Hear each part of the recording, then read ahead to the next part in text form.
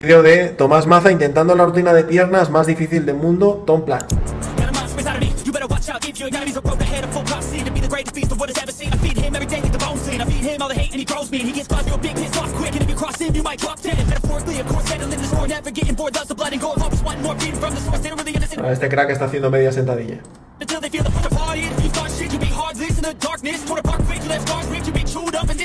Bueno, vamos con la tercera serie, yo no puedo más. Tiene ganas de vomitar, no puede contener el músculo. Dale, amigo, la tercera serie. Falta después sentadilla acá, acá. Extensión de cuádriceps. Venga, pila, amigo. Encima, que me está matando y yo no entreno piernas nunca. Viene una mía y me dice soy un cagón. Ah, es verdad. Tercera chica de allá. de allá. Yo le digo, motivalo, motivalo. Y le dice, dale, dale, dale, dale, dale. Y él guarda la barra y le dice, dale, te, te sobraron dos más, sos un cagón de mierda. Y se va. Sácate mal, amigo. ¿Se piensa que yo le una mina? Yo le soy sincero, le bajé el peso, estoy por no puedo respirar y necesito agua. ¿Entiendes? Yo no entreno nunca. Esto es lo malo de la sentadilla libre, que muchas veces fallas más a nivel cardiovascular que a nivel muscular. Te, te- te- te falta más el aire que, que- que antes, que llegues, antes que llegas al fallo muscular, que es realmente lo importante en- para desarrollar eh, la, la musculatura. Entonces esto lo tenemos que tener en cuenta a la hora de planificar la sentadilla. El, en este caso, sobre todo, no buscar ir a repeticiones muy elevadas porque te vas a fatigar, lo que te comento, más a nivel cardiovascular que antes que llegar a ese fallo muscular que buscamos. No sabes lo que me está doliendo. Tengo la boca re seca, amigo. Tom Plan, toma agua. Con plan me chupa la p. No la pienses, amigo, vacila, no la pienses. Bajé, subí, bajé, subí, dale, bajé, subí. Dale, no te más. Dale, dale. Dos más, dale. Hacela. Dale. Una más. Ya la tenés, amigo, dale. Uh, muy bien. Lo peor es que falta una serie más. Y faltan ¿Ves? Ahí podemos ver en- la última repetición que podría haber hecho más, pero como ya está teniendo una sensación, una percepción de esfuerzo muy elevada, pues no hace más por eso. Por eso, muchas veces, dependiendo del caso, te conviene más a lo mejor meter una sentadilla, por ejemplo, en multipower, que, que el libre. Depende también de tus palancas. Y habrá unas personas que a, lo mejor, que a lo mejor le sacarán más partido y habrá otras que menos. ¿Qué pasa, crack? Hermoso, hermosa, hermosa. Bueno, antes de seguir con el vídeo, tengo que recordarte que suscribirte a este canal es completamente gratuito. También puedes activar la campanita para que te avise en cada vídeo que suba. Y en la descripción de este vídeo tienes mi WhatsApp para poder preguntarme sobre asesorías, programas enfocado en cambio físico, mejora del rendimiento, etc. Puedes seguir con el vídeo. Saludos. ejercicio todavía. Vení bien, muy bien, muy bien. Y perdí bastante. En el 2021, me perdió. Pero la pierna que tengo no está mal. Ahora mi pene va bien. Antes parecía más chico de lo es.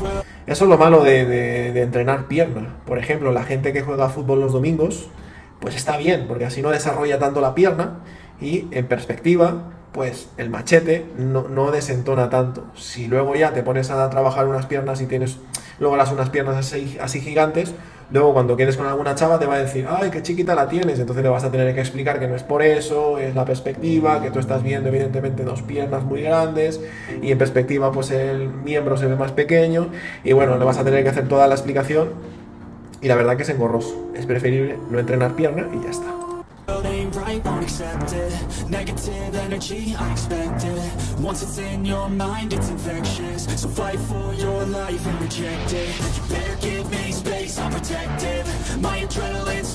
O sea, está hablando del, entrenamiento de Tom Planch, pero no nos está hablando de series, ni repeticiones, ni nada. Yo por lo que estoy viendo es que están entrenando con un peso bajo.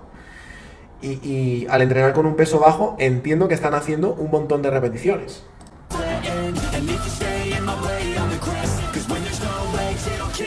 O sea, con 60 kilos, crack. O sea, 60 kilos no pesa ni tu novia. Y en sentadilla. ¿Pero qué es esto? ¿Pero qué es esta aberración? ¡No! Y encima falla, por Dios. ¡No! Venció, amigo. Se me acaba Yo creo que es eso, es como un entrenamiento a muy altas repeticiones, muy rápido, eh, hemos, estamos viendo que no están controlando la excéntrica, ni nada de eso. Y al final es lo que digo, este tipo de entrenamientos, con este tipo de entrenamientos acumulas una fatiga muy, muy elevada. ¿Por qué? Pues porque estás yendo a altas repeticiones, es un ejercicio con peso libre, por lo tanto, depende mucho de la estabilidad. Y si mezclamos que es un ejercicio con peso libre, sentadilla libre a muy altas repeticiones, y viendo que creo que están haciendo así una especie de, de series con muy poco descanso, etcétera, lo que logramos es una fatiga inmensa a nivel sistémico del sistema nervioso y a nivel cardiovascular, pero no son entrenamientos tan eficientes para el estímulo de eh, la musculatura en este caso. Voy a bajarlo para hacer peso muerto. De banco. Hacete 20 reps sin nada, sin peso. Una banda. Esto sirve puramente para bombeo. Una cosa es la hipertrofia sarcoplasmática, que es la fibra contráctil real y la que nos interesa a largo plazo, y otra es la sarco, eh.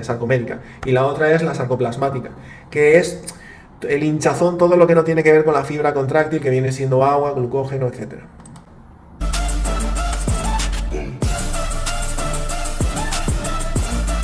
Entonces, eh, con esto que digo, tenemos que tener muy en cuenta el no basar únicamente nuestro entrenamiento en el bombeo, en el hinchazón, porque eso luego te bañas y ya desapareció. Eso, esa no es la finalidad en el entrenamiento.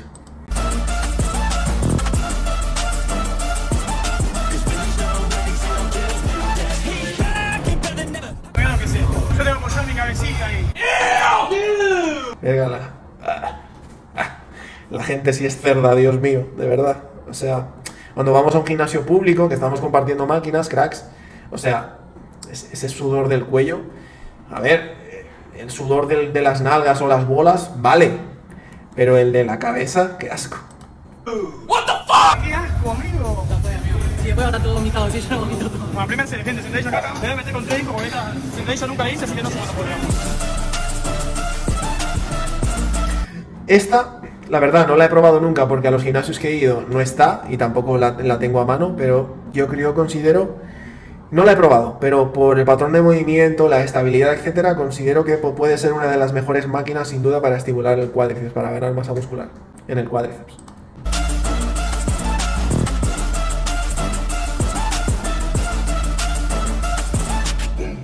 Este amigo suyo, en vez de ponerse a hacer jaca, que se vaya a jugar fútbol. O sea, ¿cómo, cómo me vas a poner un plato por cada lado?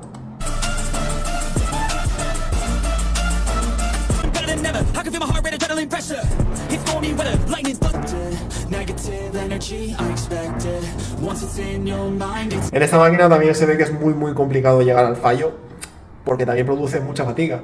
Pero bueno, poco a poco con el tiempo y buscando una progresión lógica en el tiempo, cada vez vamos a ser más eficientes en la máquina y es mucho más fácil ser eficiente en esta máquina que, por ejemplo, en una sentadilla libre para hipertrofia. Sí he visto gente, sí he tenido clientes que le sacan muchísimo partido a la sentadilla libre, pero hay otros que, nada, malgastan mucha más energía.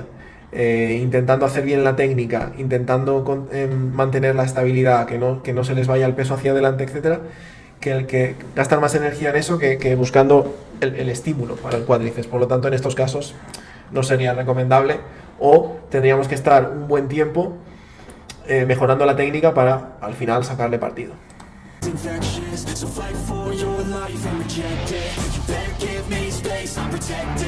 My adrenaline spikes when I'm threatened.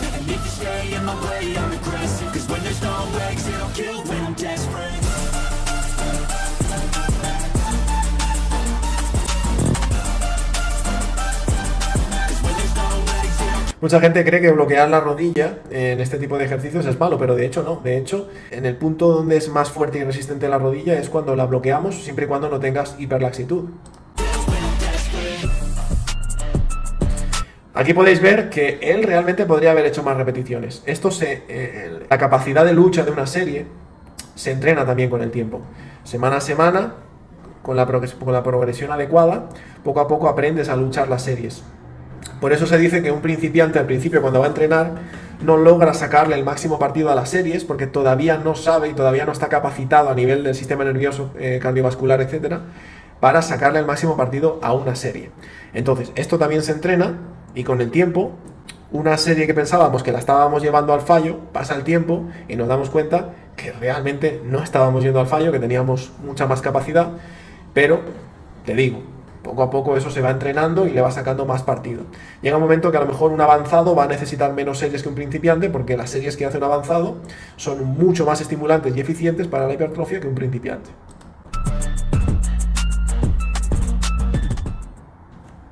Se me cayó un disco en el pie. Viene el hijo del dueño me dice que no se te caiga nada en el pie porque yo estoy descalzo. Se me cayó un disco acá. ah, justo después de que me lo dijo, boludo. Eso es mi estilo, La verdad que estoy fresco. Es una rutina de muchas series. Muchas. No es tanto peso, sino muchas series. Y que músculo quede muy lleno.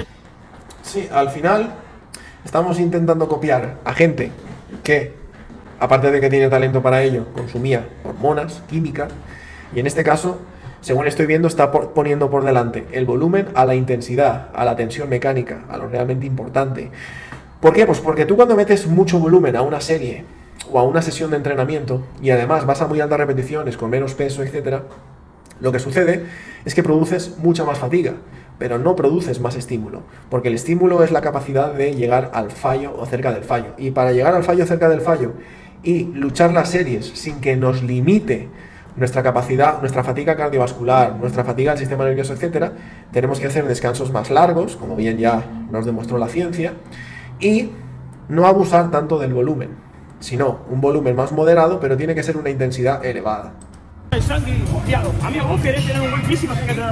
Porque una cosa es salir del gimnasio con las piernas hinchadísimas, con un bombeo tremendo, y otra cosa, que no es lo mismo, es progresar en el tiempo y ganar masa muscular, fibra contráctil. Manera. Muchas series con poco peso, muchas reps, o pocas series con mucho peso y pocas reps. Las dos son buenas. Eh, pero acá, yo escuché, corregime si, si estoy hablando de la pagada, que entrenaba una sola vez al mes las piernas. ¿Con plan? Sí. No.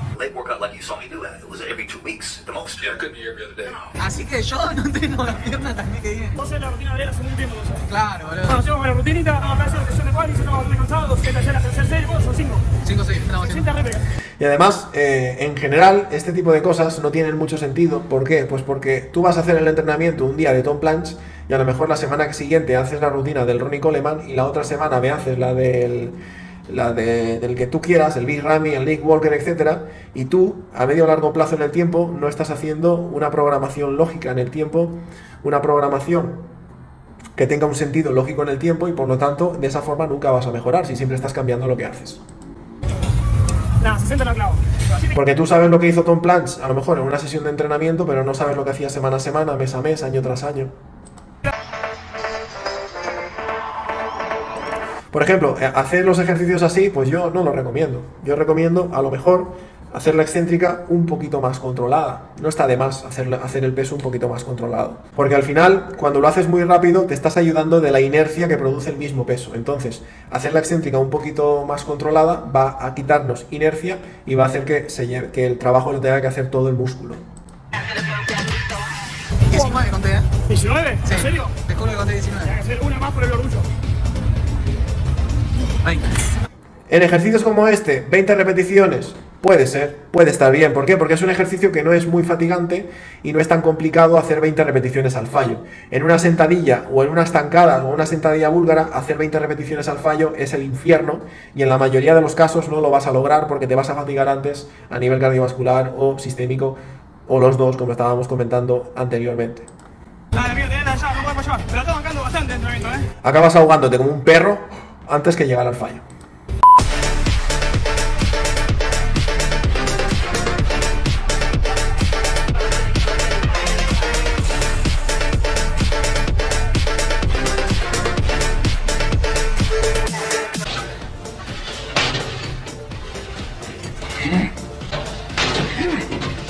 Además parece que este cabrón la pierna le medía medio metro. O sea, se, se veía como las piernas muy cortas. Luego, claro, hay gente, no todos, pero hay algunas personas que creen que por seguir literalmente lo que hacía Tom Planch en su momento va a lograr las piernas de Tom Planch. Y eso no va a pasar. Ok, ¿a mí no me quieres creer? Perfecto, entonces hazlo y dentro de unos años me avisas.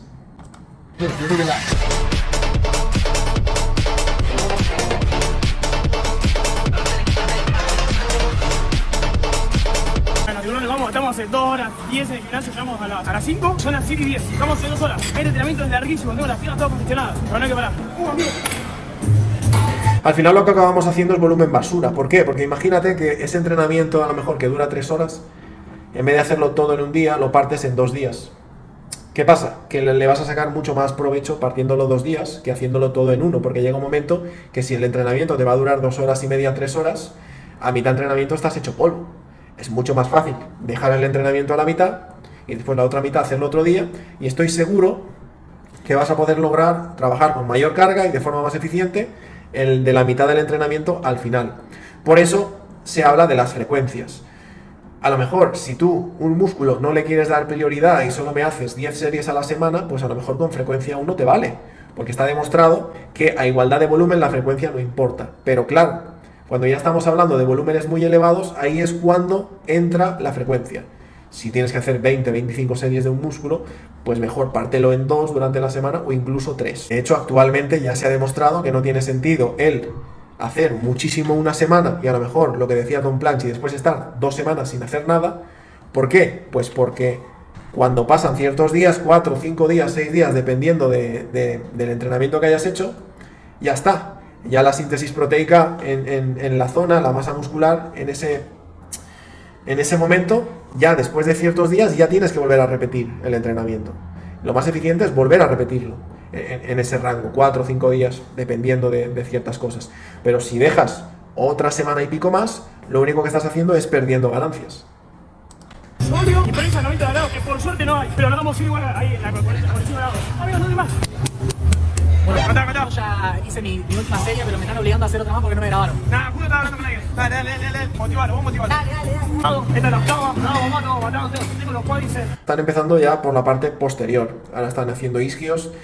Yo que recomiendo, yo siempre recomiendo en el tema de la pierna partir un día, enfocarlo más en flexión de rodilla y otro día más en toda la cadena posterior. Pero claro, si se dice que Tom Planch hacía un entrenamiento cada dos semanas, pues el, el tipo se metería todo el mismo día.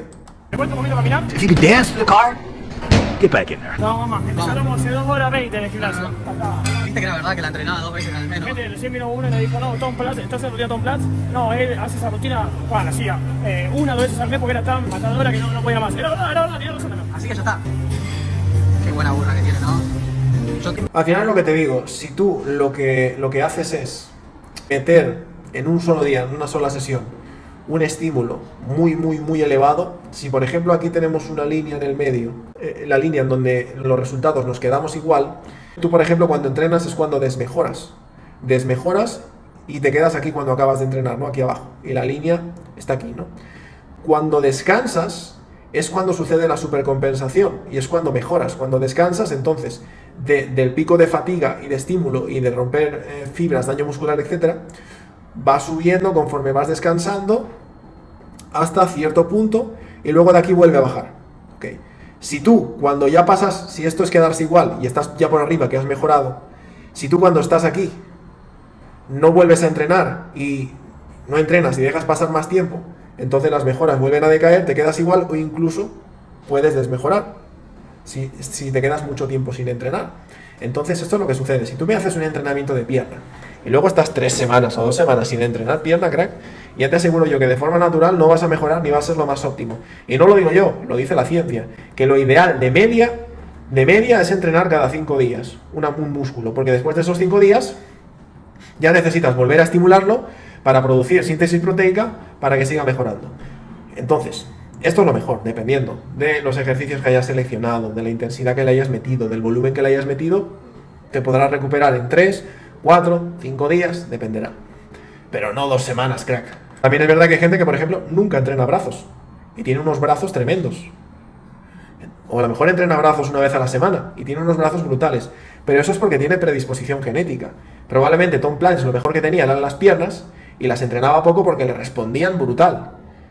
No será tu caso, mi crack.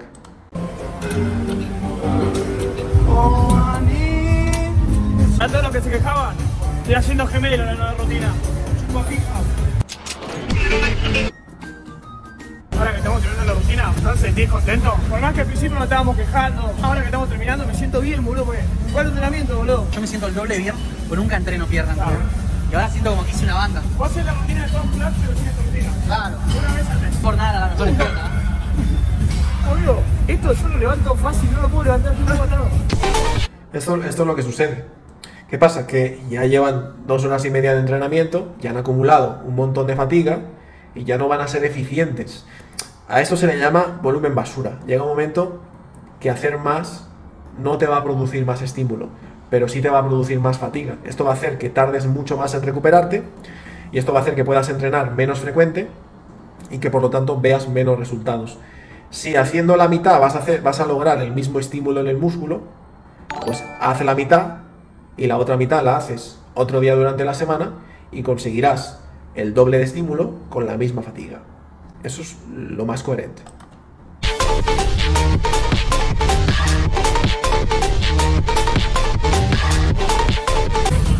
¿Y cómo se puede explicar lo de Tom Planch? Es lo que te digo. Si, entrenando Tom Planch esta rutina una, una o dos veces por semana tiene esas piernas, no es solo química, que evidentemente usaba química, sino también es parte genética. Si no, tú mismo sigues su rutina, entrenándola una o dos veces por semana, espérate un par de años, y aunque no te voy a decir unos meses, espérate un par de años y vemos a ver si has logrado un cuarto de las piernas de Tom Planch. Dale, dale, dale.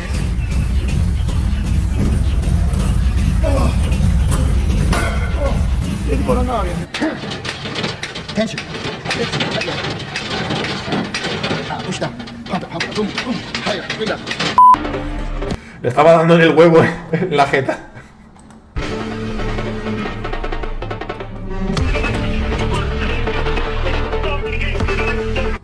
Tranquilo, Ned. Piensa en la Biblia.